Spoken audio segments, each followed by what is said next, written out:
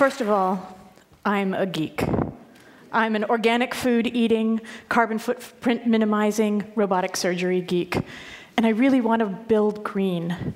But I'm very suspicious of all of these well meaning articles, people long on moral authority and short on data telling me how to do these kinds of things. And so I have to figure this out for myself. For example, is this evil? I have dropped a blob of organic yogurt from happy, self actualized local cows on my countertop, and I grab a paper towel and I want to wipe it up. But can I use a paper towel?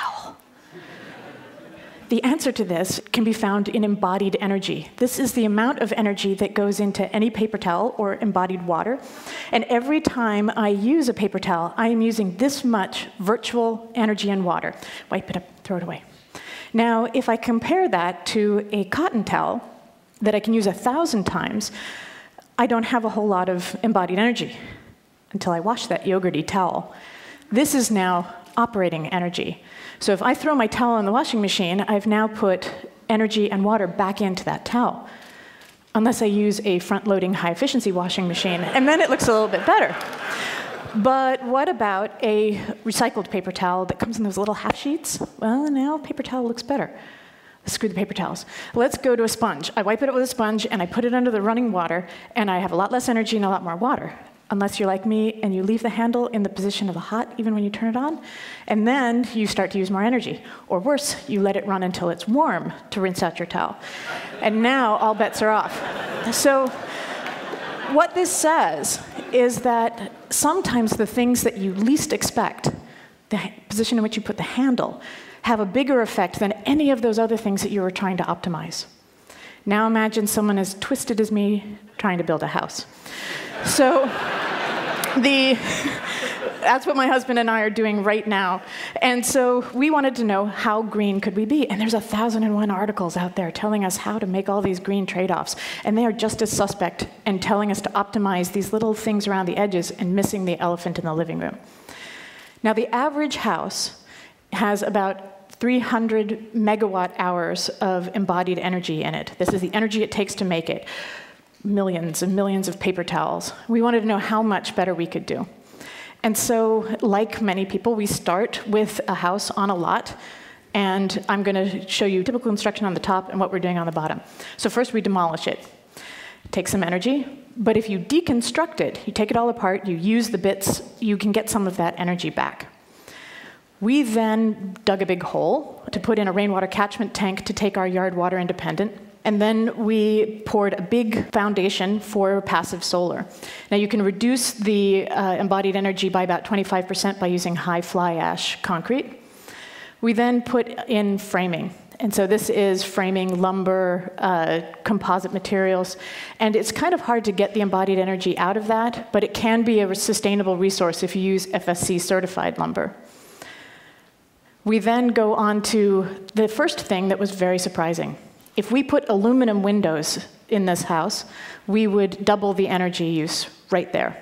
Now, PVC is a little bit better, but still not as good as the wood that we chose. We then put in plumbing, electrical, and HVAC, and insulate. Now, spray foam is an excellent insulator. It fills in all of the cracks, but it is pretty high embodied energy. And sprayed in cellulose or blue jeans is a much lower energy alternative to that. We also used straw bale infill for our library, which has zero embodied energy. When it comes time to sheetrock, if you use EcoRock, it's about a quarter of the embodied energy of standard sheetrock. And then you get to finishes, the subjects of all of those Go Green articles. And on the scale of a house, they almost make no difference at all, and yet all the press is focused on that, except for flooring. If you put carpeting in your house, it's about a tenth of the embodied energy of the entire house, unless you use concrete or wood for a much lower embodied energy.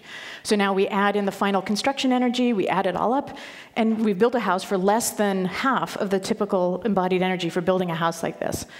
But before we pat ourselves too much on the back, We have poured 151 megawatt hours of energy into constructing this house when there was a house there before. And so the question is, how could we make that back? And so if I run my new energy efficient house forward compared to the old non energy efficient house, we make it back in about six years. Now, I probably would have upgraded the old house to be more energy efficient, and if that case, um, it would take me more about 20 years to break even. If I, now, if I hadn't paid attention to embodied energy, it would have taken us over 50 years to break even compared to the upgraded house. So, what does this mean? On the scale of my portion of the house, this is equivalent to about as much as I drive in a year. It's about five times as much as if I went entirely vegetarian. But my elephant in the living room flies. Clearly, I need to walk home from TED. But all the calculations for embodied energy are on the blog. And remember, it's sometimes the things that you are not expecting to be the biggest changes that are. Thank you.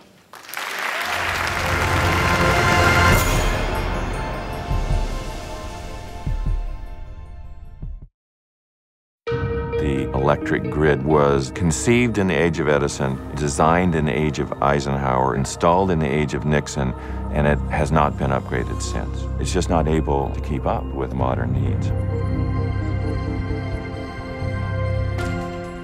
The notion of the smart grid is using what we have better, making do with what we've got and not build so much new infrastructure. Software at the gateway between generation and transmission can solve that problem.